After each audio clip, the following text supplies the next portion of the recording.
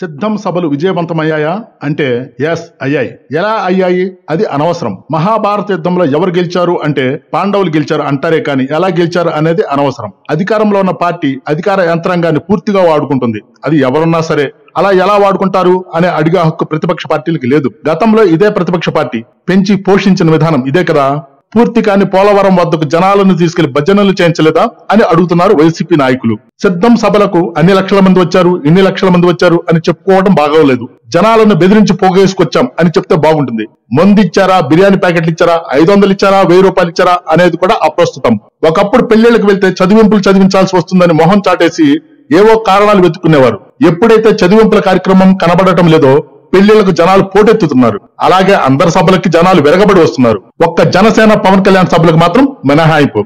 ఇక రెండో విషయం. సిద్ధం సభలో ఏం మాట్లాడారు అనేది ముఖ్యం. చెప్పుకుంటానికి ఏం లేదు. నేను సింహం సింగిలే. అమ్మ అక్క చెల్లి ఎవరు లేరు. నేను ఏక్ నిరంజన్ ప్రభుత్వ ఆస్తులమ్మి అప్పులు చేసి మరీ మీ ఆకలి తీరుస్తున్నాను. వాళ్ళకేమో స్టార్ కంపైర్లు ఉన్నారు దత్తపుత్రులు ఉన్నారు ఇద్దరేసి ముగ్గురేసి పెళ్ళాలు ఉన్నారు మరి నాకో ఒకటే పెళ్ళాం. మీ పుణ్యమా అంటూ నాలుగు ప్యాలెస్లు కట్టుకున్నాను. ఋషికొండకు గుండు కొట్టాను. నాకు పదవి ముఖ్యం కాదు. నెక్స్ట్ టైం నేను ఉండొచ్చు ఉండకపోవచ్చు. నేను ఉంటేనే మిగిలిన వాటి అంతు చూస్తాను. ఇంతకు మించి ఏమైనా ఉందా? ఏమీ లేదు. ఈ మాత్రం దానికి అబ్బాయి జనాలు అనుకున్నంత మంది రాలేదు.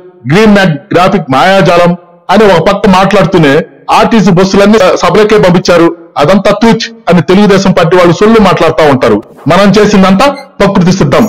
వాళ్ళు కనికట్టు గారడిలా ప్రస్తుతం జనాలు ఏది గ్రాఫిక్స్ ఏది ఒరిజినల్ తెలుసుకోవాలని అమాయక స్టేజ్లో లేరని తెలుసుకుంటే మంచిది. అతి చేసి మరలా చేతులు కాల్చుకుంటున్నారు తెలుగుదేశం తమ్ముళ్ళు. చివరగా సభలకు పబ్లిక్ మీటింగ్లకి కొత్త సాంప్రదాయాన్ని తెరలేపారు మన ముఖ్యమంత్రి గారు. అదే ర్యాంప్ మీద క్యాట్ వాక్ బాగుంది కదా?